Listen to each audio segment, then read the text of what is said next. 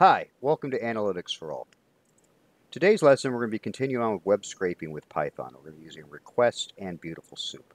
Uh, I did an earlier video on Request web scraping where I kind of covered a little bit what HTML is. Uh, if you're not sure I'll have a, about this, you want to go back check that video out.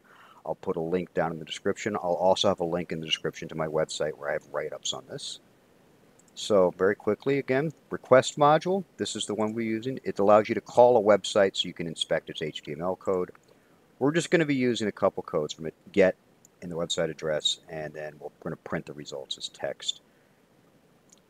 And the next one we're using is Beautiful Soup. This is an HTML parser. It's one of its functions. It allows us to easily pull out the important information from HTML. Uh, main syntax we're using today is Beautiful Soup, the HTML, and then HTML parser, and we can look at it. Uh, it's kind of easier to explain on the go in the code, so let's go ahead and open up our notebook. All right, I got my notebook open here. We're going to start with import request as RE.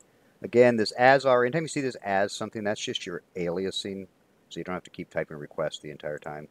And then from BS4, import beautiful soup, run it, if you run this, you get no errors, you're good. You have these both installed. And if you have the Anaconda distribution, you should. If not, you might have to go to pip or conda and install these two. All right, so let's go ahead and start. We're going to go to my website, analyticsforall.org. Right up here. And we are going to look at it, and we're going to pull the HTML and print it out as text. So go there. And here we have, we have my HTML printed out. So this is all the code behind my website. This is everything that makes it. You can see, got a title here. Uh, you can see lots of links if you start going below. But this is all the stuff that makes up my site. And something like this, honestly, I use just this R alone in a lot of work where I will just search this code looking for keywords. I look for things like password username to see if there's a website that's trying to collect passwords and usernames. Uh, I look for things that might have my company name is this website that might be trying to mimic my company. And I can do this all just with this r.text. Uh, so that's very functional. This, I mean, these this first two rows are kind of really all you need to get started in web scraping. But Beautiful Soup makes this a lot easier. So we're going to scroll down here, and we're going to pass the r.content, because the r is what we pass my website to. So dot .content is the HTML actual file. We're going to pass this through Beautiful Soup and apply the HTML parser as what we want it to do. And we're going to print soup prettify. Okay. Now it may look kind of the same. I assure you, if you try this in a regular IDE like Spyder, the top is going to come out just one single blob of text. But down here, it's actually a better looking. It's easier to read. As you can see, we go up here, we look at my title. Up here, you have title, Analytics for All. This is like a command for the size and the color of my text. Down here in the beautiful soup, it's much cleaner. You can see the title, my title. There's no weird codes in the middle. All right. And again, title. We know we want the title. Instead of having to just blindly search using like a regular expression or a search feature, I can just go down here and I could print soup.title. There it is. Now if I don't want the markups around it, I can print soup.title.string. And there you go. And I've got that and I can save that and search through it. Okay.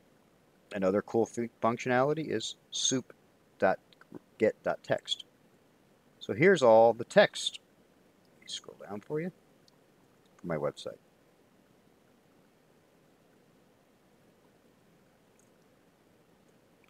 Here it is, dedicated to unraveling. The mystery behind big data analytics, you know, and here we can go and scroll down on my website, and there it is. Analytics for All is dedicated to unraveling the mystery behind data, data analytics. And this is great. I can pull just what I want. Okay. Now, you might be thinking, okay, that's cool. What's, you know, going to use this for? I use this to pull things at work all the time, like I can go through my website that where tickets are stored and I can just pull them as a string and store them and I can automatically email out stuff from that way to all my team. So it's a function. It's really good. It's useful for that. So, but we can sit there and you can see the pieces. Another cool thing let's look at. Let's going to look at links. We're going to soup find all A get the link from href. href and A, these are HTML codes telling you this is a linking to somewhere. And as you can go down here and look now, you can see all the different websites and pages my website links to. Probability, statistics, machine learning, which if you're not sure what I mean by a link, when you go to the website and you come up top and you see this one machine learning and you click on it, this is guiding you to another page. It's guiding you to this page, machine learning, so where you can look at all these others, and these are all also links to somewhere else. You know. So that's where all this comes from, and that's where this link comes from. And that's a really cool feature of it. You know, again, Beautiful Soup has more features than this just, but this is the main kind of functionality I use it for, and it's a really good introduction for this. Okay, so I don't know about the rest of you, but, you know, every time it was always a pet peeve in school. I'd learn something new, but no one could ever tell me, you know, applications or uses for it. Well, I work for Verizon in the cybersecurity field. So one of the things I'm concerned about is people making, going out and creating web pages like this. Verizon Wireless with a with an L. What happens is this little address gets sent by a text message to people and it says, hey, your account's been compromised. Da, da, da, so uh, click on this link, and you'll click on the link, and it'll look just like a Verizon page, and it'll have a you know user email, username, password, and you'll type it in. You're not going to Verizon. You're just sending. You just sent your password to somebody. So if you ever get these links, don't ever click on them. When in doubt, call tech support, and they'll know if they sent you something or not. Uh, so what happens is I get a listing daily of every new registered domain that might look like one of ours, and I run it through just this r request.get, and I look for words in there. I look for words like username, password, Verizon. I look for our colors, anything that might look like something that somebody's trying to imitate our website with. And if I see it, I flag it, and it tells us to go ahead and look at this one. You know, other ones I look through, I see they're still landing pages, that kind of stuff. But anything like that, we look at. We want to make sure we get these websites down before they can compromise, pay, you know, our customers. That's a valid use. Except another use is I have a website where I get tickets. You know, I run a data science team. People are always sending us requests, you know, for new models, to you know, to look, do some statistics for them, to check out some data, to get some move some data around for them. Uh, instead of having to go in there every day and look at each one of the tickets down. I can just download the text off this using Beautiful Soup and look through all the different ticket names because I know what reference they're under.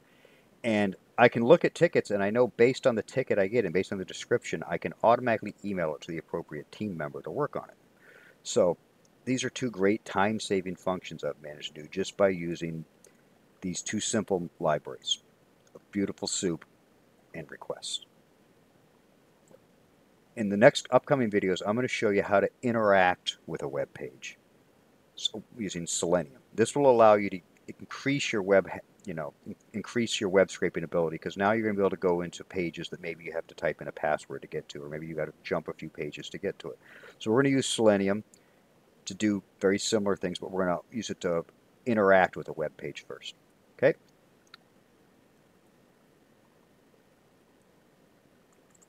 Again, I want to thank you for joining me. Uh, you can visit my website, analyticsforall.org. I have write-ups on most of this stuff on there. Uh, hit the subscribe button, like, leave a comment, tell me what you'd like me to work on going forward. Uh, again, I'll put all the links to the any videos that link this series together down in the description. Thank you very much.